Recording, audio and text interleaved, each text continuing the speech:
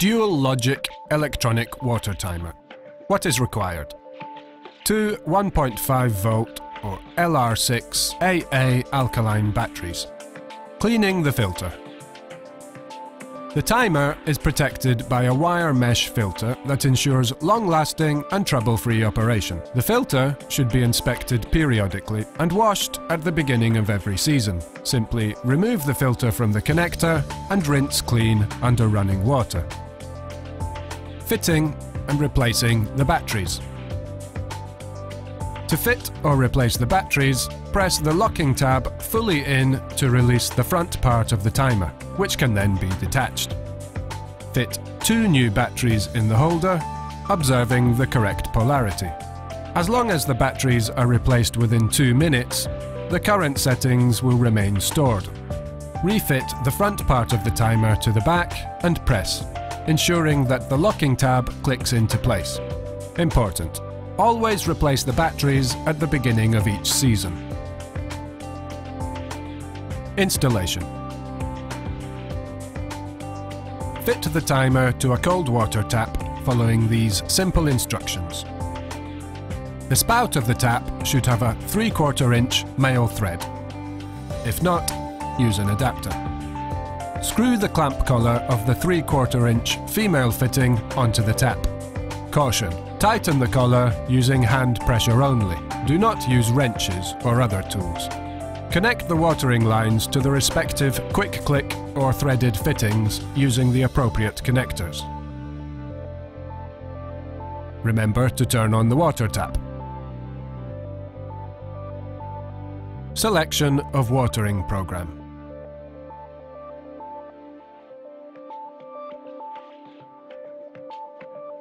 Press any button once to light up the display. Press button P once or repeatedly to select the desired watering program, for example, three times. The selected program appears in display field C3. The watering time is displayed in field D, 1 minute. And the watering frequency, or the interval of time between successive watering cycles, is displayed in field E, 12 hours. The time and frequency of watering are factory set and cannot be changed by the user. Immediate start.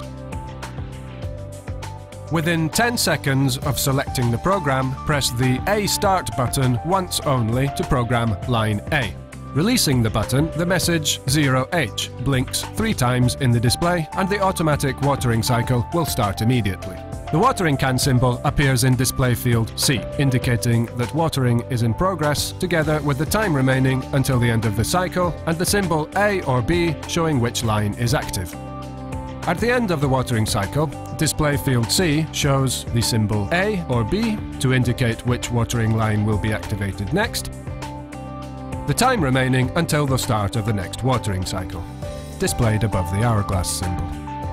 Set the start time for line B, for example program 2 or 5 minutes, in the same way as for line A previously. Watering will begin on line B, following the end of the cycle on line A.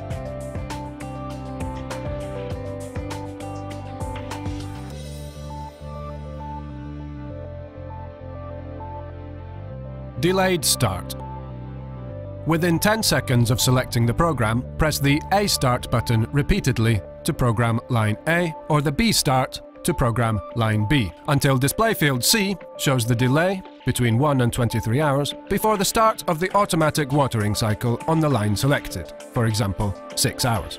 Release the button and the number of hours will blink three times, after which the program begins the countdown to the automatic start of the watering cycle shown in display field C above the hourglass symbol. Making changes to the watering program. Repeat the programming procedure as indicated in the Selection of Watering Program section, for example changing from 3 to 6. The new program will replace the previous one.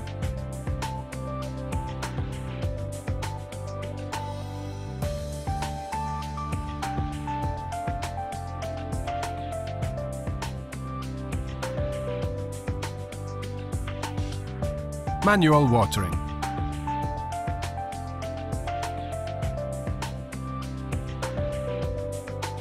Press the A start and B start buttons simultaneously and hold them for at least 3 seconds. The timer goes into manual mode with the valves off, off blinking.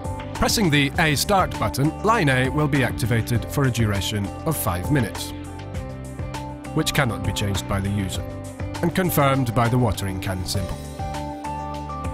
To stop watering before 5 minutes have elapsed, press the A Start button a second time. The same procedure can be carried out on line B. To quit the manual function, make certain that both valves are off.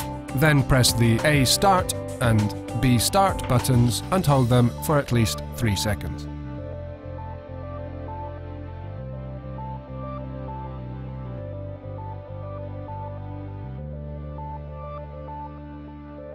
Reset.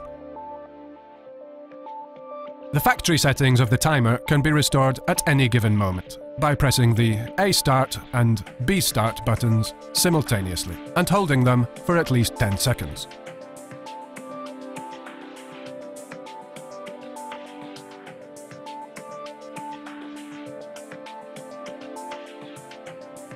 Switching off the timer.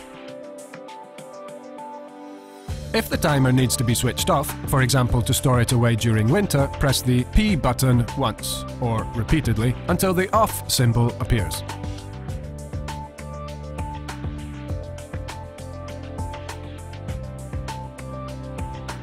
Then press the A Start button.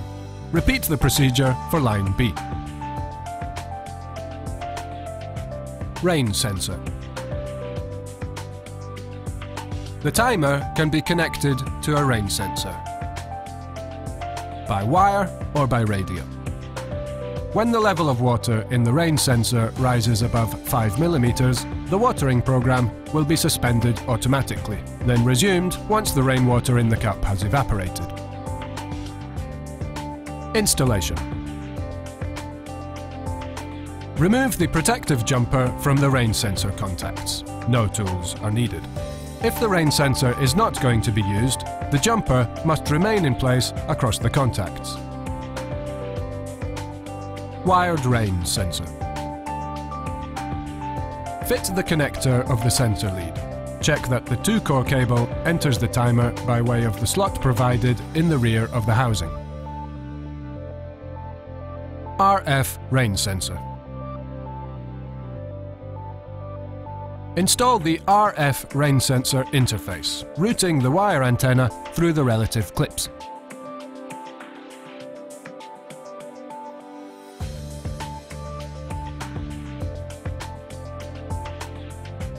Protection in winter.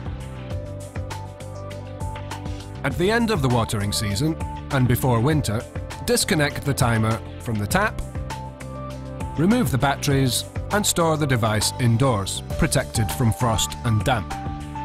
This will ensure that the timer remains as good as new for many springs and summers to come.